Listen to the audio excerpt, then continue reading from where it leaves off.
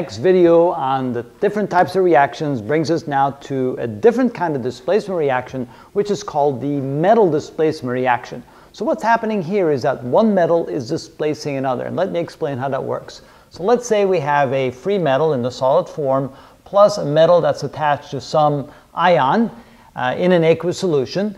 When you place the other metal in there, this metal will now take this metal's place, so they're both metals, and now we have a bond between the ion in the aqueous solution and the new metal, and the other metal will precipitate out as a solid. Why does it do that? Well, again, metals are part of a, a, a series of uh, elements where they're either more likely or less likely to donate electrons. If they're more likely to donate electrons, they're more likely to react with another ion and bond with it. If they're less likely to donate electrons, they will gladly give up their place and let the other metal do that bonding. So here again we have what we call the activity series. And notice things near the top are more likely to donate electrons. Things near the bottom are less likely to donate electrons. So if a metal that's higher up on the list, more likely to donate electrons, comes along, it will displace a metal that's already in the aqueous solution and bond into the ion that's lower on the list. So let's see an example here. Let's say we have copper sulfate in an aqueous solution.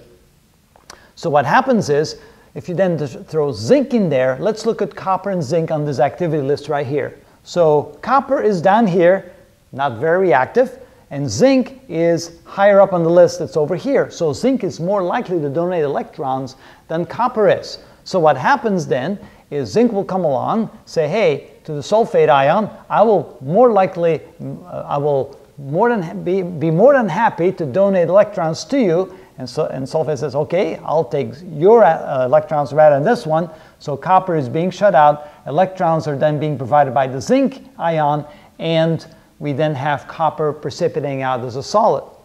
Same when we have copper and silver. Now you say, well, copper is not very reactive, but it's even more reactive than silver is. So if you have a, a silver in a solution, for example, in the form of silver nitrate, and you then add solid copper, copper is more likely to donate electrons than silver. It will take its place, form the copper nitrate uh, combination in the aqueous solution, and then silver will precipitate out. So one way to get silver out of a solution that has silver nitrate in it is just dump any other metal in there that's more reactive, and silver will simply precipitate out.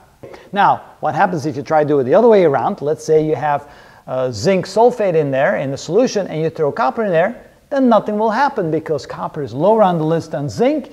So zinc is more likely to donate electrons to the ions in the solution, and so copper is simply ignored and will stay there, no reaction will take place. Same when you throw silver in a solution that has copper nitrate, again there will not be any reaction because silver is lower on the activity list than copper. So it's pretty straightforward. Now, to get a, a, good understanding of how this really works is if you take this, this uh, chemical reaction here, what's really happening is when you place copper sulfate in a solution where the copper and the sulfate is dissociated like that, you'll end up with two ions like that, and then you dump in the solid zinc in there.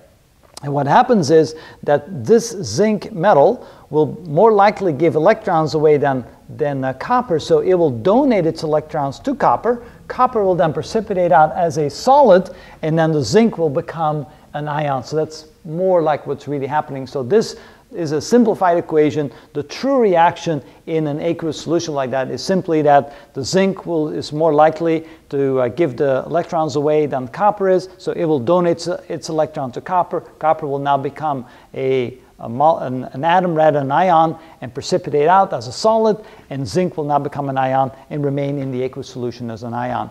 And so that gives you a good feel. You just have to have the aqueous solution so the transfer electrons can take place. They, of course, will not take place when you have two metals sitting there side by side. Although, you know, given enough moisture and so forth in the atmosphere, you could have some reaction like that occurring in a, a more natural state, but in an in a aqueous solution, it will readily happen. So hopefully that will help you understand the displacement reaction when metals displace one another in an aqueous solution.